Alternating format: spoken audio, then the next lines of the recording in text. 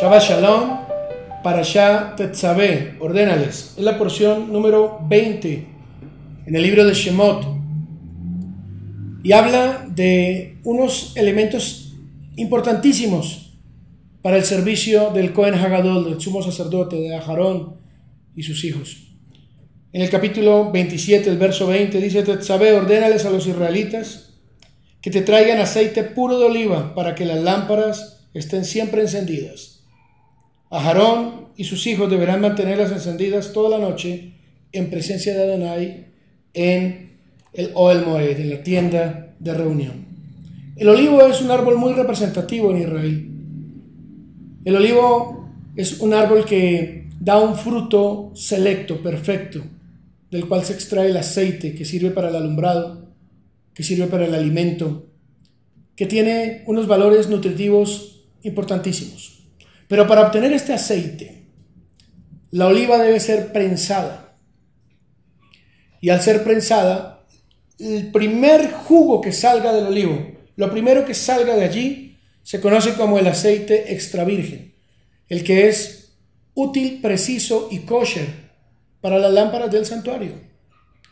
Pues bien, Yeshua HaMashiach, en el libro de Lucas, el capítulo 22, el verso 39, nos va a dar la explicación correcta de esa lámpara que arde, que nunca se apaga, pero que tuvo que ser prensada en un lugar especial.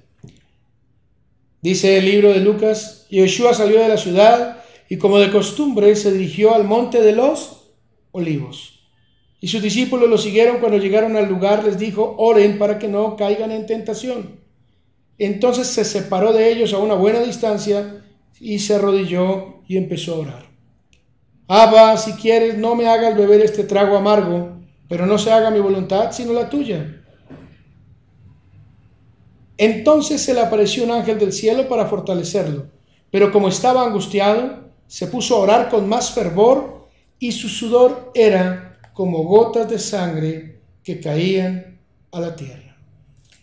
Este lugar maravilloso se llama Gat Shmanim, el lugar de la prensa, el lugar donde Yeshua estaba orando, en el monte de los olivos, Getsemaní, Gat Shmanim en hebreo, quiere decir el lugar de la prensa.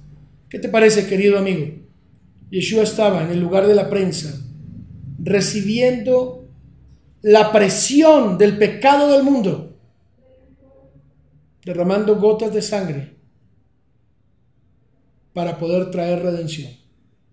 Padre, si quieres pasa de mí esta copa, pero no se haga mi voluntad, sino la tuya. Para allá, Tetzabé.